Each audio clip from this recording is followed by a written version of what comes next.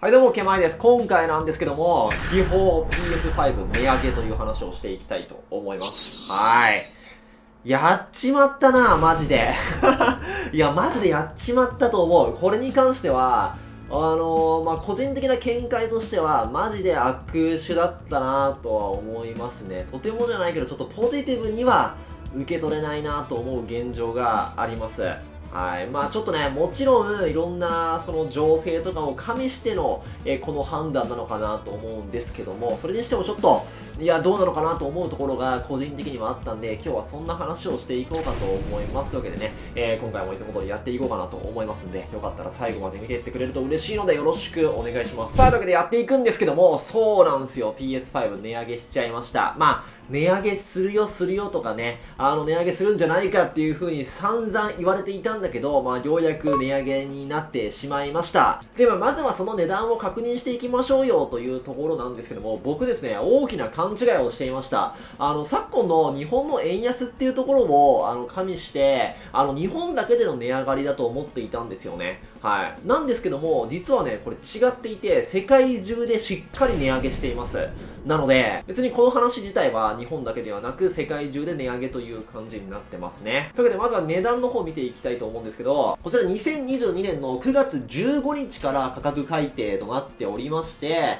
えー PS5 通常版の方が6478円、そしてあのデジタルエディションの方がえ49,478円という感じになっていて、えー、だいたいえ5500円くらいの値上げとなっております。これね、ちょっとめちゃくちゃ値上げしてるんですよ。で、その他にも日本だけではなく、欧州、イギリス、中国、オーストラリア、メキシコ、カナダというね、まあ各国で値上げとなっているんで、まあ、そうですね、世界的に見てもかなり批判の対象になっているという、そういう状況です。で、まあね、ちょっとやばいと思ってるポイントがいくつかあるんで、ちょっとその話をしていこうかなと思います。まずはですね、やっぱ途中の性能の何の変化もない状態で5500円の値上げっていうのは正直やばいという話。あの、これに関してはね、タイミングがちょっとどうなのかなと思うタイミングではありました。もちろん元からね、逆ザヤとかでね、PS5 が売れれば売れるほど、ソニーの懐が痛いみたいな、そういう状況があったんですけども、まあ、結局ね、こんだけ値上げするんだったら何かしらの、まあ、追加の機能とか、例えば新型に合わせて、まあ、値上げしますよとかだったら、まあ、あの、消費者も理解できると思うんだけど、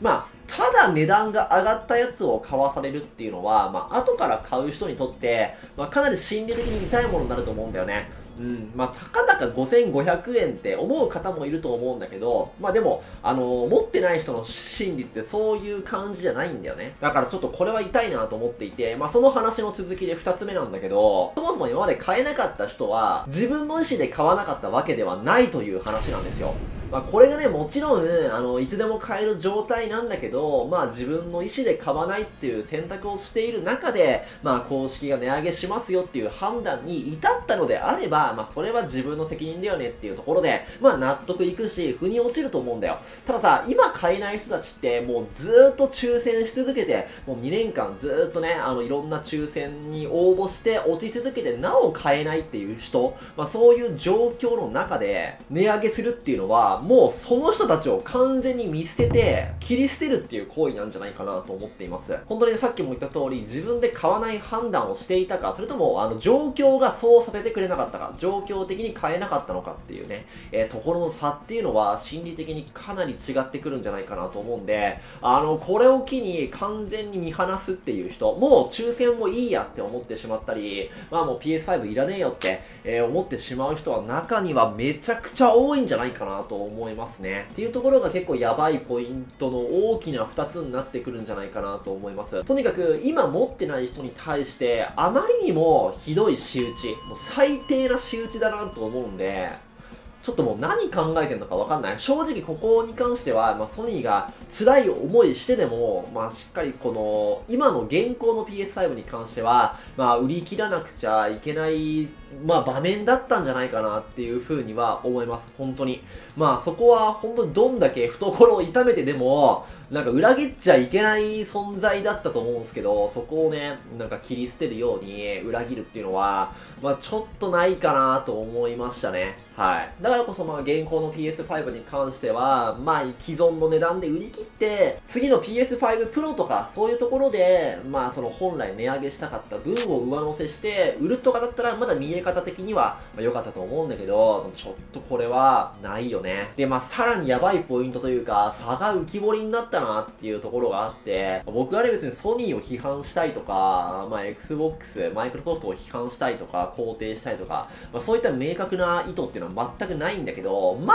あ差が浮き彫りになったなと思うのが、このタイミングで、まあ、マイクロソフト側は結構なキャンペーンをやってて、あの先日動画にもしたんですけども、まあゲーム機を買ったらソフト1本無料になるよっていう、まあとんでもない、あのー、まあキャンペーンというかね、プロモーションをしているんですよ。で、まあ麻薬なんですよね。5500円、えー、まあゲームハードの値段っていうのを上げたソニーに対して、なんなら1万円ぐらい消費者っていうところが得をするキャンペーンを打ってくるマイクロソフト。まあちょっとここの差っていうところが今回ちょっと浮き彫りになったなというところはあります。まあ、もしかしたら今後あのマイクロソフト側も、まあ、値上げっていうところをね、あの視野に入れてるのかもしれないないですけども、まあそれにしてももししないのであれば、今後このまあ5500円っていう値段の差、次世代機ハードの5500円っていう値段の差は、売上っていうところに結構直結してくるんじゃないかなと思いますね。で、まあじゃあなんでそんなことしたのかなっていう、なんでこのタイミングなのかなと思ったんですけども、まあ最近ね、PS5 がすごくまあ売れ行きがいいというか、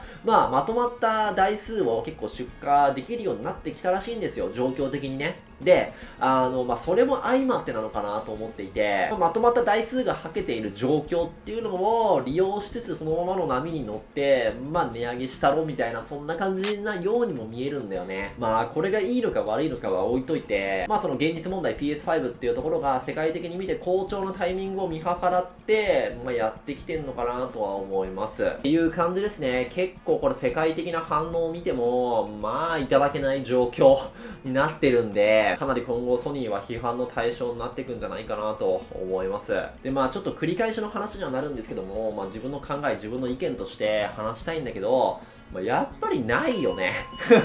いや、ないよ。あんまりだよ、これは。本当に。あのー、マジで今まで一生懸命買おうとしていた人に対して、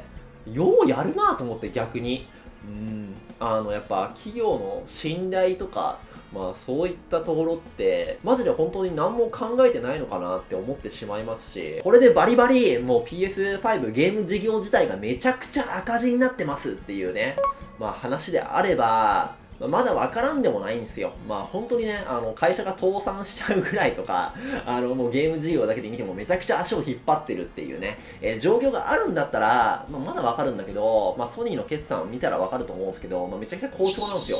はい、あのゲーム事業はすごく好調で、まあ、PS5 っていうところの売り上げも素晴らしいですし、まあ、世界的に見たらね、本当にソフトとかもよく売れてますし、まあ、全然あのゲーム事業安泰だよね っていう、えー、感じになってるんで、その状況だったら、もうちょっとなんかその状況に甘えてもいいんじゃないのかなって思ったりだとか、あの、よっぽどなんかそこでね、今までのファンっていうところを裏切って、まあこういう行動に出る、うん、よりも全然良かったんじゃないのかなって、まあ本当になんだろうな、個人的な意見ですよ。なんかその会社の大々的な目的とか、え そういったところは一切考慮してないんで、勝手な意見ですけども、まあ思っちゃいましたね。まあちょっとこれは、ないなという、そんなところですね。はい。まあもう上がってしまった以上はしょうがないのかなと思うんですけども、まあ、ちょっと今後本当に、まあ、売上とか、あとは出荷台数っていうところがどう変わってくるのか、は、ちょっと、まあ、引き続き注目していきたいなと思います。あとは、ま、これにつられて、あの、転売価格っていうところもまた上がるのかなって、結構動いたりするのかなと思うんで、まあ、少なくともまあ5500円は上がるのかなと思うんだけど、まあ、ほんとちょっととんでもないことになってきたなというか、まあ、今世代のゲーム機に関しては、まあ、ちょっとなんか勢いというか、残念なところはやっぱり多いなと思いますね。これはでも本当に、にまあ、もちろんソニーだけが悪いわけじゃないですよ。世界情勢もありますし、まあコロナっていうところもありますし、本当にいろんなことが噛み合ってだと思うから、まあ本当、なんだろう、ただただソニーが悪いという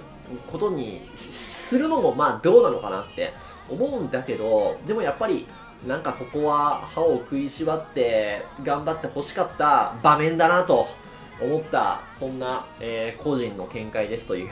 感じで 今回はこれで終わろうと思うんですけど、まあ、ぜひぜひ、えー、皆さんのね、この値上げに対する意見というか、そういったところをお聞かせ、えー、いただけると幸いなんで、よろしくお願いしますって感じで、これで終わろうと思います。この動画最後まで見ちゃいましたよっていうそこのあなた、ぜひぜひチャンネル登録して応援してくれると嬉しいので、よろしくお願いします。えー、このチャンネル毎日ね、ゲーム関連の最新情報とか、おすすめのゲーム紹介とかね、まあ、こんな感じでゲームの話題、え、いっぱいしています。応援してくださいという感じで、最後までご視聴していただきありがとうございましたした。また次の動画でお会いしましょう。ではまた。